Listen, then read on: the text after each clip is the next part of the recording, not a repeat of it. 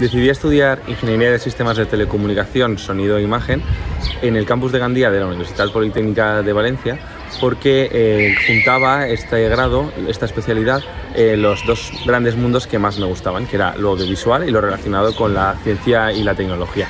Estudiar allí fue una suerte porque eh, es un campus muy familiar, muy pequeño, muy sencillo, ¿no? en el que podíamos encontrarnos fácilmente nosotros eh, con los compañeros en clase, pero sobre todo también con los profesores. Era muy fácil llegar al despacho del profesor y poder eh, hablar con él de cualquier duda, cualquier inquietud, cualquier necesidad que, tenías, se hacía muy fácil. Y creo que lo que más me, aportó estudiar en el campus fue esta, esta familiaridad, esta cercanía y esta forma diferente de, de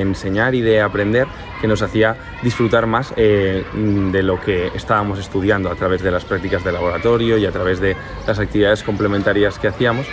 Eh, pues eso, hacíamos un, un, aprendizaje un poco más, más completo, no solo quedándonos en lo académico en clase y el entorno en el que lo hacíamos era el ideal para conseguirlo.